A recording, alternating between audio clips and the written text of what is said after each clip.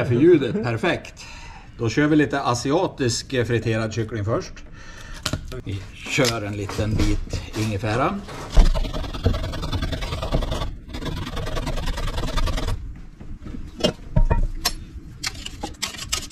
Så. River vidare med vitlöken.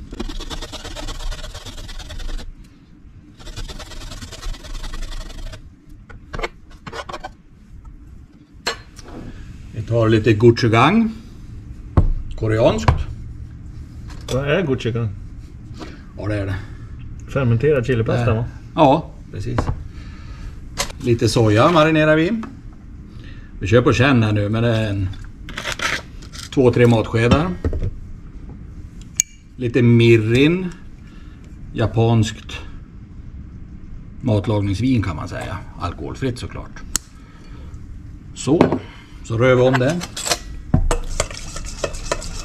Potatismjöl skulle vi haft i lite grann. Då börjar vi bygga lite krisp redan nu. Eh, Potatismjöl räcker det väl med att ha i ungefär en tesked.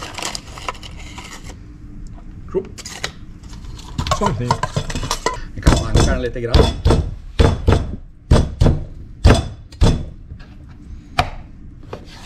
Eh, Eh, kycklinglårfilé går ju också jättebra. Sen tar vi lagorna, mumsbitar ner i marinaden. Eftersom vi har soja och chilipasta så behöver vi inte ha något salt och peppar i marinaden. Lite olikformat, det blir bara roligt det.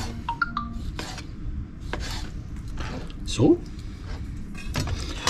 Så rör vi om lite grann här. Sen kan det stå.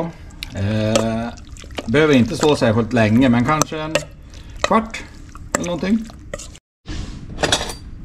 Eh, då tar vi en liten enkel chili majonnäs som vi kan doppa den i. Lite majonnäs. Egen går ju också bra. Det kommer väl en film på det snart. Laugan man. Lite chilikrisp. Och lite sriracha. Den här passar ju också bra om ni gör egen sushi. Lite lime skulle man kunna ha i här också. Man skulle med fördel kunna använda en Kewpie majonnäs. Eh, den japanska majonnäsen. Eh, lite dyrare men eh, lite godare. Så.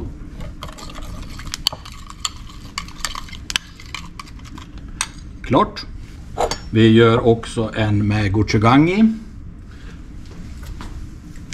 Eh, den här använder vi också i Korean Beef tacos. Vi tar lite sån. I den har vi lite mirin. Här kan det vara lite smart att man rör ut gochugangen först. Eftersom den är lite svårblandad med majonnäsen direkt.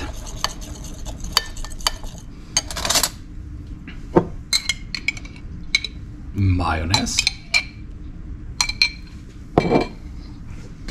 Ytterst lite soja.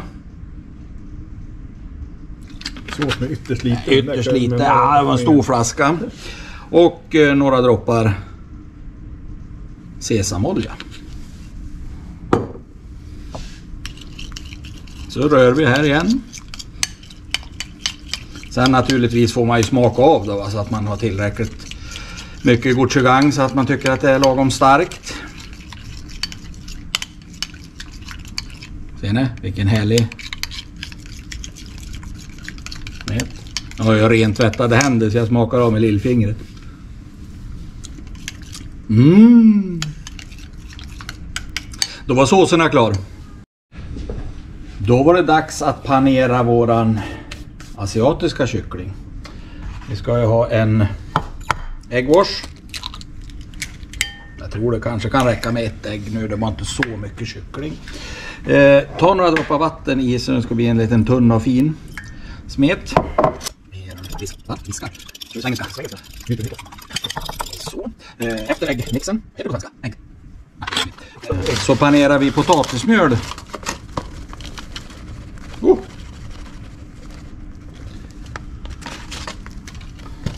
Så kycklingbitarna. Vi tar dem i e- äggblandningen. Lyfter upp och får droppa av lite grann. Sen ner i potatismjölet. Här är det viktigt nu att det täcker riktigt. Man kan gärna trycka till det lite grann också. Eh, inga torra fläckar. Så. Sen kan det få ligga och torka till sig lite grann på ett galler eller på en tallrik tills det är dags för fritering. Fritera! Fritera, fritera. Mycket olja.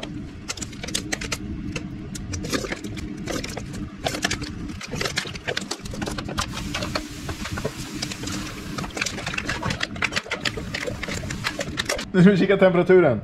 Brödbit i olja. Vi vill att det ska bubbla.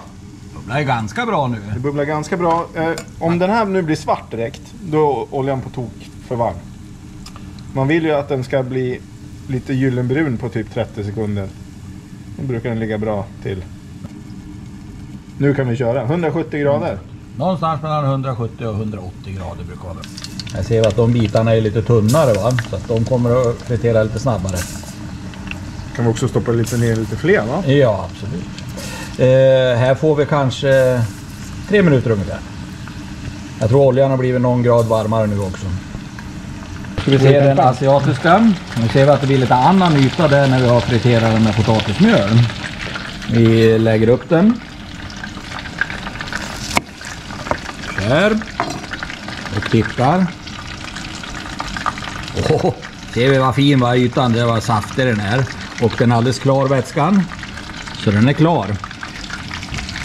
Då kan vi fiska upp resten och sätta oss och äta. Servera med ris, pommes frites, en coleslaw kanske. Ja, då var det färdigt för servering. Vi har två sorters friterad kyckling. Vi har de där två såserna där. Vi kommer säkert fler friterade kycklingrecept. Det här var ju en standard, dubbelpanerad och en asiatisk. Kanske en amerikansk kyckling kommer senare också.